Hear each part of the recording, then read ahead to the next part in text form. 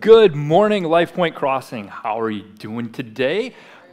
Yeah, I see. I never really even expect people to answer, and that's so delightful when you guys are like, "I'd like to have a happy conversation at 9 a.m. on a holiday weekend." That's fantastic. Uh, my name's Ross. I'm so glad that you're here. If you're here in person or if you're watching online, you've taken a time out of your weekend to be a part of church and worshiping God. That's this is something that's going to happen in heaven, isn't it? So, interestingly, here we are in this series called Heaven on Earth, which we're we're just talking about making earth a little bit more like heaven, which seems like a great idea. At least I thought it seemed like a great idea.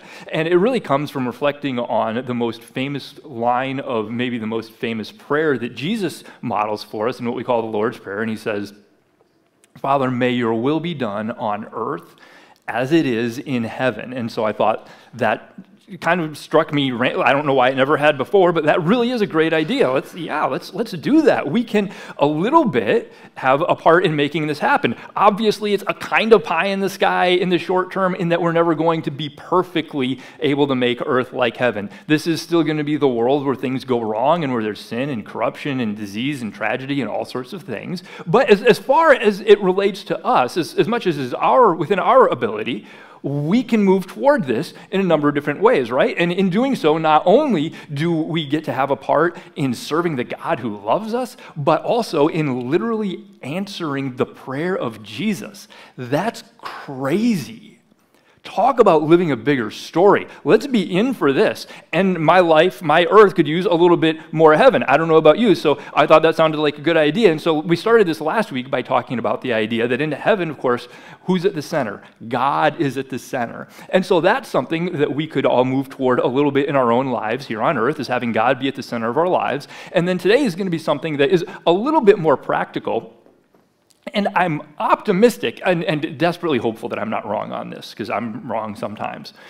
Desperately hopeful that I'm not wrong on this. But I think this is going to be a little bit of an easier message compared to a lot of messages, because I, I don't know about you as people who, you know, I'm sure a lot of you are people who would say you're uh, following Jesus and, and love God. But for sure, as a pastor, there are some elements of Scripture and following Jesus that are able to blend in more than others with sort of the, the, greater society that we live in, right? There are some elements of, of Scripture and following Jesus that are just very distinct, sometimes even countercultural or even controversial, and, and so those can be very difficult. But this one today, I think, I, I hope, is going to be a little bit of a softball in the case, or at least in the, in the sense that this is one where really what I think has happened, I don't, a lot of people wouldn't probably agree with this, and and I don't think there's any sense in the history lesson to, to prove it or whatever, but I think what's happened really is that a lot of our culture has sort of caught up with the values that are very clear in Scripture to the point where this is something where most of us, I think, are going to come in, hopefully, with some level of agreement. And what I'm talking about is simply this that everybody has value right? That Jesus died and resurrected so that anybody from any different background or region or any sort of situation could be forgiven and adopted as a child of God and his family forever. And in, in that way, um, the, the way that I like to say it for today in terms of making earth a little bit more like heaven is just this that everybody is invited to the party. Guys, do you, do you remember what a good high school party's like? Because I don't. No, apparently I'm not the only one. This is uh, strangely uh, a little bit tragic and a little bit encouraging both at the same time. Um, I, I, don't, and it's not really just because I'm getting old and high school is getting further and further away. It's because I was never really at a good high school party. Are the house parties, are they like what they, what they portray on TV? Is that really what, because I don't, I don't know. I really don't know. And I grew up in South Dakota. Uh, we were actually near the Missouri River. There was a little county park down there. And so sometimes people would talk about going and having a party down at the river, and they'd go down there and, and drink or party or do whatever. I, I, like, I don't even know because I was never there. And the biggest reason that I was never there is because this is my actual freshman high school picture right there. And so this isn't a situation, yeah, I know. It's okay. You can, you can laugh at that. Like, we laugh at that. Um, but this wasn't a situation where I didn't realize it was picture day and I just got out of bed. I didn't have time to shower or, or mess with my hair or find a shirt. This was me putting my best foot forward. And it turned out that my feet were a little bit awkward. okay? Yes, it's okay. You can, you can laugh. You're supposed to laugh at this. It's, it's all right. Uh, you can't be that guy and not develop a sense of humor because if you can imagine what his next four years were like, they were a little bit difficult. And so the reason that I never went to a party, by and large, is that I was never invited to the party. And so instead, I just stayed home and tried to drown my sorrows in death metal and cheering for the Detroit Lions. We'll say that was met with what we'll call mixed results. And my high school years did not closely approximate heaven. So, this is the kind of thing, really, that I would like to think I don't even have to like prove from the Bible, but then if I think about it a little more, I think like how else really are we going to know anything about heaven except from scripture? It's not like I've been personally. And so uh, Revelation can be uh, confusing in a lot of ways, but we're going to drop down for just a moment here in a scene from Revelation chapter 5 that is, is set in heaven. And what we see here, there's kind of a lot going on, but there's a scroll that's sealed and has been determined that there's nobody who's worthy to open the seal or break the seal, except for it mentions a lamb that looks as though it's been slaughtered. And so there's a lot going on here, there's a lot of depth, but what we need to understand for today is clearly that that lamb that looks as though it's been slaughtered is a clear picture of Jesus, right? And, and so here's what, here's what we see. See, and there's, there's people around, and the people, they, this is people, they sang a new song with these words. They said, You, and this, of course, meaning Jesus, the lamb that looks as though he's been slain, said, You are, you are worthy to take the scroll and break its seals and open it. And it says, For you were slaughtered, and your blood has ransomed people for God. And, and this is really kind of where we're going from every tribe and language and people and nation. Okay, this is, this is saying that Jesus died for people from every tribe and language, people, and nation, all kinds of people. And then if we pick up and we drop down, uh, right about two chapters later in chapter 7, there's a, another scene, and now you can see that all those people who he died to ransom, hey, good news, they, they actually made it. They showed up. It says, after this, I saw a vast crowd, too great to count. And who's, who is this crowd made up of? Is here we are. People from every, and it's the exact same four words. They're in a different order, but it's the exact same four words. Every nation and tribe and people and language standing in front of the throne before the Lamb, right where they're supposed to be. And so I know there's a lot of questions in Revelation, and on some level, I only have so many answers. But here, I think, is what's very clear and very explicit is that Jesus, the Lamb who was slaughtered, he, he died for people from every kind of, any kind of, as much variety as possible, any place, any language, any region, any background. And then you see two chapters later, and, and they're actually there worshiping around the throne. And listen, if you were here, we talked a couple months ago about Jesus saying that the greatest commandment was to love the Lord your God with what? With all your heart and soul and mind and strength. And we said this is just, he's, he's just saying, we can break this down in any number of ways, but really he's just saying, listen, this is, this is all of you, like all of your alls, is the way to love God. Don't try and look through those words, heart, soul, mind, and strength, and say, okay, now what, what did he not mention? With what do I not have to love God? Is, is, what's really inappropriate here? And I would say the same thing with these four words here. Don't, you know, you look at those and be like, all right, well, it doesn't mention, it doesn't say anything about Broncos fans. So I wonder if God's grace really extends to them. He's, this is saying everybody, all sorts of people. And not only that, they're, they're not only together there in heaven worshiping around the throne, but they're actually unified. And what's interesting about that is it's not even their, their similarities or their diversity in which they're unified. It's not their homogeneity nor their differences. It's just like we talked about last week. They're all just centered on God. It's, it's really God is the one who's the unifier. And so I would like to think that we all know and understand this. And you guys, if there's someone here who needs to hear this this morning, please do hear it. But everybody is invited to the party. Everybody's loved. Everybody's valued. Everybody's unified. If you don't want to worship and spend eternity with people who might look and sound a little different from you, then this is a great day for you to make earth a little bit more like heaven. And decide we're just going to embrace this. And, and I know a lot of different things, especially in, on the topic of race, in, in our world have really kind of been crazy, both in the last few years and like kind of since the beginning of time like really kind of all of that. Uh, but I really, I'm not trying to say anything political. I, I don't think I'm trying to say anything really even the tiniest bit controversial. I'm just saying that everybody's loved, everybody's valued, everybody is invited to the party. And there's more to this message. We're going to see go, go, some different places, but more to this than just race. But uh, for, for just a, a couple of moments, um, and I, I grew up, as I mentioned, in South Dakota, overwhelmingly white, naturally. Uh, and I did have the good fortune of being taught from a young age that racism was stupid and wrong, and so of course I believed that. But I also didn't really see a lot, and so I also sort of developed a belief and an understanding that it was kind of a thing from you know history books and you know from a bygone era, and wasn't really a thing in the modern world until later in life when Laura and I moved and we lived for eight years in Louisville, Kentucky, which is of course much more racially diverse and much more racially tense. And frankly, I was shocked at some of the things things that I saw and experienced there. And so I do understand that this is a reality in our world. I have a Facebook friend actually this week who lives not even far from here. He's in Northwest Arkansas and he's black and he had a, a status update that just said polite racism is very alive and well.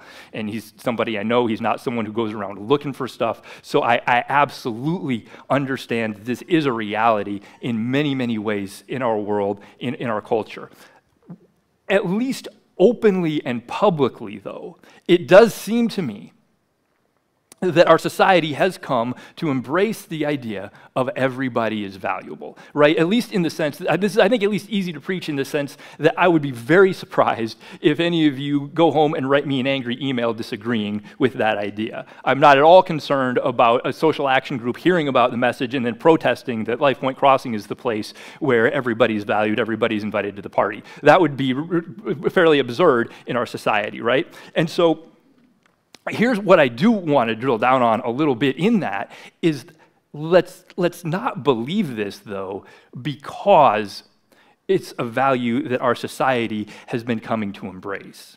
Let's not believe this because of the cultural value that has been emerging in our society. Let's believe this because it's biblical.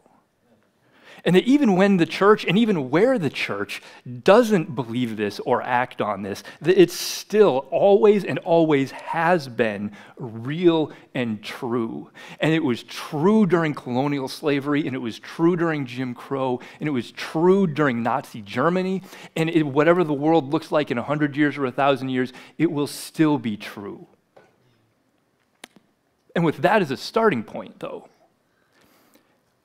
what makes the perspective of a Christ follower different from anybody else on the street who would echo this same very, very wonderful and very, very correct belief that, that everybody has value? Um, and um, here, I think what we have is really something very unique and very interesting and very important, which is a reason that exists outside of ourselves. Because why does everybody have value? In fact, why does anybody have value? And I've read a, not a lot, but a little bit of atheism, for instance, and like certainly there's no one belief that you know, can speak for anybody in a group or movement or category or, or anything like that. The same way that there's no one person who speaks for Christianity other than Jesus, and you know people argue about that too. But I, have seen answers that I, I, I, they just aren't to me, even the tiniest bit satisfactory. And why does anybody have value? Because we all feel like we do, don't we? And this isn't heaven yet, stuff gets messed up. But deep down, don't we all know and understand and believe that we have value, and in fact, that the other people around us also have value? Where does that come from? It's a little bit hard to explain, isn't it? And I, I don't particularly care what anybody thinks about the mechanics of how the human race came to be here, um, but at least in the, the strictly naturalistic evolutionary sort of understanding, right, that says that everything, all of the universe existing and life in like any level is just a complete accident that had no sort of divine initiative or interaction with anything because there is no God, no divine anything. The answer I think, is exactly the same as their answer for basically literally everything, which is that, well, it was beneficial. Right? That somewhere along the way, uh, some, our ancestors' ancestors began to develop the belief that life and human beings have value and, and have worth. And so that belief made them more likely to struggle through and survive and have babies of their own, which then they passed on the belief that human beings have value and uh, intrinsic worth. And so, um, this is really the idea that we believe that we have value because we believe that we have value. Like it really is this circle that sort of is my, I am my own grandpa eh, kind of thing that's really based in nothing but itself. And so I think even if you ask any average person on the street, whatever they believe, if, if they're atheist or you know follow Jesus or any other anything, I, I think if you ask most people, they would agree, right, that yes, human beings have value. Oh, absolutely. But if you ask them why, again, even as Christ followers, I think generally, man, people might struggle really to give much of an answer. Like, what's what's that based on? Why why why is that the case? I don't really know what anybody would say, but I suspect that most people, and, and maybe even most of us, like, I, I, mean, we feel this like so strongly. I mean, we, we would almost say we know it's true, but I don't, how do you really base that on something? And so, Scripture, look, the good news, gives us actually, I think, an outstanding answer. And it doesn't wait until Revelation. It actually comes from literally page one. And I don't care particularly how anybody thinks about the first couple chapters of Genesis for today, but don't miss what it very explicitly does point us to. I think, I think this is very clear. I think this is very profound and very helpful from Genesis 1 26 and 27, two verses here. And it says, Then God said, Let us make human beings, and here's this phrase, in our image, to be like us and they'll reign over, listen, they're going to be distinct from everything else in all of creation. They'll reign over the fish in the sea and the birds in the sky, the livestock, all the wild animals on the ground, and the small animals that scurry along the ground. And so God says that, and so then, of course, God does that, and He says, So God created human beings, and here it says again, in His own image. Now, a third time, just in these two verses, in the image of God he created them. Male and female, He created them. Three times, just in these two verses, it points directly to this, super highlights this idea that we're created in the image of God. If you've heard the Latin phrase imago Dei, that's what that means. That's, that's where that comes from. And you can see this is just making a huge point out of this idea. And to this point in creation, everything else has already been created, everything else already exists, but there's been no mention at all of this idea of anything being created in the image of God. And so humans are different and this is exactly what is different about them. And it doesn't answer all of our questions, but it's interesting that if you keep reading, you don't get too much further before you see this actually come up again. And I think this is really very helpful. In Genesis 9 6, it says, If anyone takes a human life, that's serious, and here's why. It says, That person's life will also be taken by human hands. Why? Well, here's the answer for God made human beings, and it was this exact same idea, in his own image. The reason why it's an extra super big deal for violence to be done against a human being is why. This is why. Because we're made in his image, because we carry around, each one of us, a unique reflection of who he is wherever we go and whatever we do, just based on the fact that we are a human being. This, this is why we have value and why we have unique value. This is what separates us from everything else that's been created, is because every one of us here today and every one of us who's ever lived was created in the image of the creator of the universe. It's not something we are just automatically. It's not something we can work for and achieve and unlock like a badge in a video game. It's something that's put in each one of us by our Creator. This is really a pretty good answer. And it seems a little bit maybe kind of like technical, theological, not really practical, but it really does turn out, I think, to be a very, very helpful answer because this now also gives us a framework to consider and, and a question to ask in terms of how do you even start to think about some of these questions that can be very difficult and, and maybe questions that you've asked and not had a good answer to, or maybe questions that some of us are, are even afraid to ask because we don't know if there's a good answer or we're afraid of what an answer might, might or might not be. Because we, it's wonderful that we believe, I think it's right that we believe all people are equally valuable, but like, we, we aren't. I, I mean, how do you consider equal? Because, I mean, just realistically, like all people are not equally productive. I mean, pr- productivity, that's important, that's valuable, isn't it? Have you ever worked at a job where everybody did the exact same quantity and quality of work? I mean, even if you're paid exactly the same, which I've worked a bunch of bad jobs, I've worked a bunch of jobs like that, and I will tell you, everybody is not equally valuable at work. Um, I mean, different people have different levels of intelligence. I mean, some people are more intelligent than other people. That's valuable, isn't it? Oh, that's, that's, super valuable. We 100% we value that. So, would somebody be more or less valuable based on their intelligence? Well, I know you, you want to say no. Of course you do. Immediately say, no, that can't be right. I, I, you, you, desperately don't want that to be. There's no way that can be right. And, and of course we agree. But why not, right? Like, isn't that something that's of value? Or here's something that I actually think as a society we maybe really tend to undervalue and this is actually even distinct from a lot of different cultures in societies, even in our world currently. But I think, and if you think about it, most of us would agree, but we tend to undervalue older people, don't we?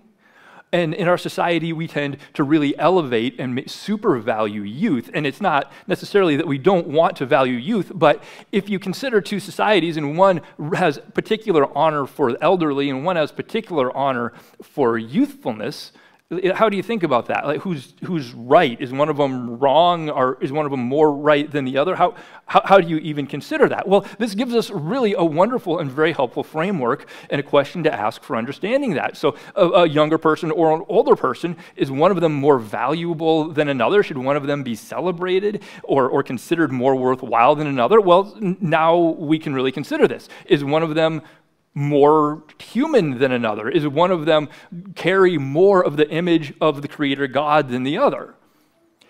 Well, this is going to be very helpful now because we can answer the question well, no, they're equally human. They equally carry the image of the Creator God. And so now we can really understand there's a, a solid reasoning for saying, yes, you know what?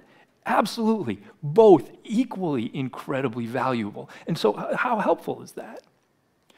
Here's one where I think our society's actually made great progress in the last couple decades, even that I've been around and sort of paying attention, is with recognizing the value of what we call people who have special needs. Right? Isn't this something where, in so many places around the world, and even in our own history, special needs people were not valued at all. They, they were really seen as a drain on resources, and in many places in the world still are. Well, I, listen, I know so many of you have actually opened up your own homes and, and, adopted people with special needs, kids with special needs. There was a time when Laura and I actually offered to adopt a child who was not developing properly uh, prenatally, and the mother was in a really, really difficult spot and didn't know what to do. And so we uh, okay, well, this is going to be a person who has value. And I'm very happy to say that right now, LifePoint Crossing Church is working, taking active steps towards having a place in the kids' ministry specifically for kids with special needs so they can have as big of a part and be as valued as is possible. And that's wonderful. And I feel like actually most of our society at this point would celebrate that. But, but why? Right? Why, why would we see it that way? It's very simple because they're a human being created in the image of the Almighty God. I think that's the answer. I think that's the whole answer. I think that's as far as you have to go Revelation 5. Jesus died for people as, as much variety as there is variety of people. And then two chapters later, Revelation 7, there they all are. Everybody made it. People from every sort of variety that you can imagine. And I know I just brought up some things that I can't answer about that, like what age will you be in heaven? I, okay, I don't know. I, I, don't know. Like if you, what, where is your physical or mental capacity going to be like in heaven? Okay, I, I don't know. But everybody's valued. Everybody's loved. Everybody is invited to the party. And the place where I feel that today really has to go to end, because this, and this is just incredible when we look at a message like this, at least to me. Um, yeah, I don't maybe it's. I don't think it's just because I'm a pastor, because um, I man, I, I love. The, I think the Bible's incredible. But if you go to the very last page of the Bible, which you don't get to very often, but we just started on literally page one in Genesis 1, right? If we go to the very last chapter of Revelation, you know what you find? And these aren't the exact last verses, but this is the, the very last chapter. Is you find an incredible, clear, compelling invitation. This is amazing. Revelation 22 17, the Spirit and the bride say, Come. Let anyone who hears this say, Come. And who can come? Let anyone. Anyone who's thirsty come. Let anyone who desires drink freely from the water of life. This is inclusive as can possibly be hoped for. And Revelation is hard, but the Spirit and the bride, the ones the Spirit, I think that just means the Spirit of God. That's the, what we call the third person of the Godhead. That, that is itself God. What's the bride? I think Scripture talks of the church, uh, us, the, the people who follow Jesus on the earth as the bride of Christ. So this is the Spirit and the. This is God and His church. And here we are, and, and we're together, and we're in agreement. And here's what we're saying. You guys come. Come.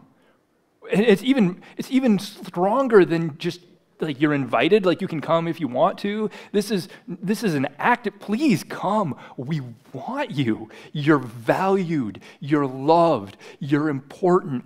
You, and we agree on this. It's, it's not about who you are or who you're not. It's not about what you have done or what you have not done.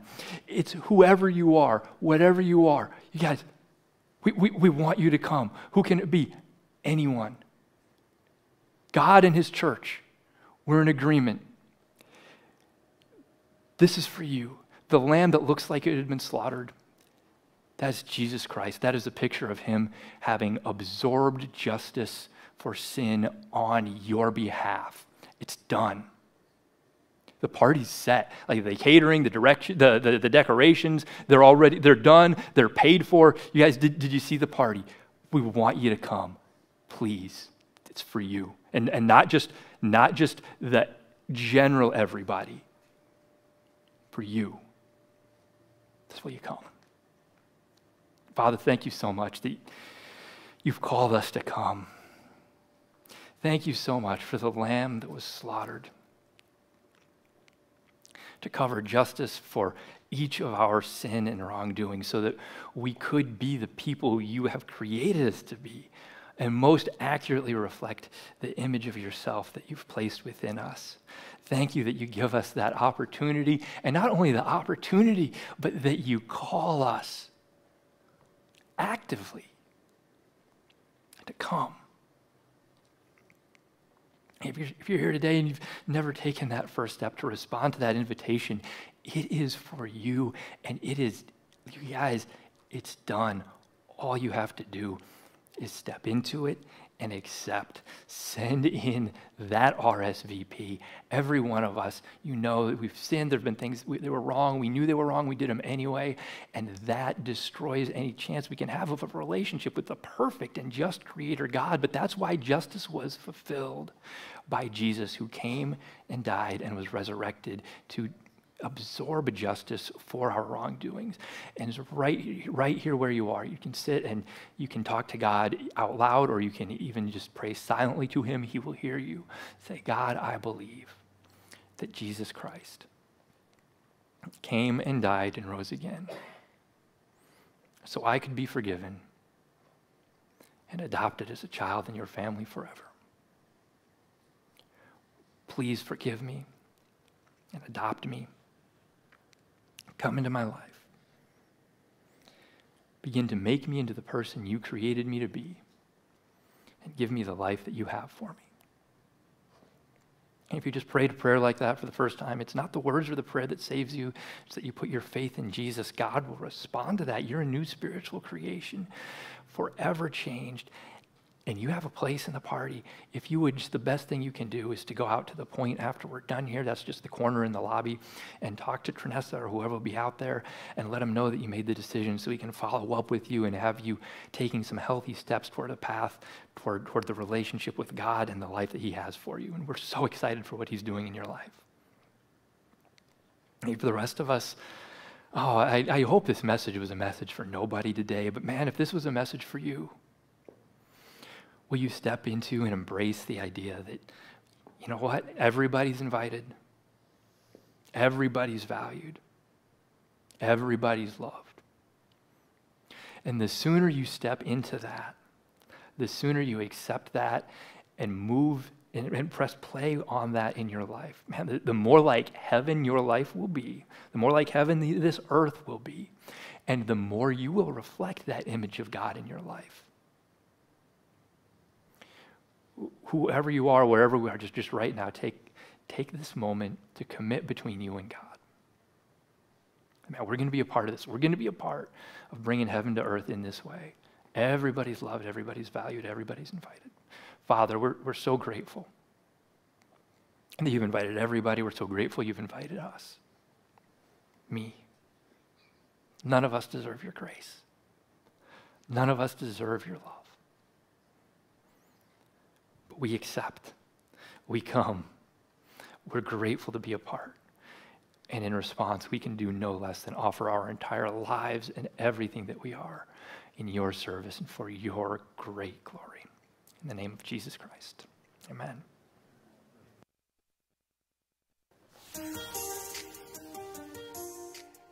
All right, friends, thank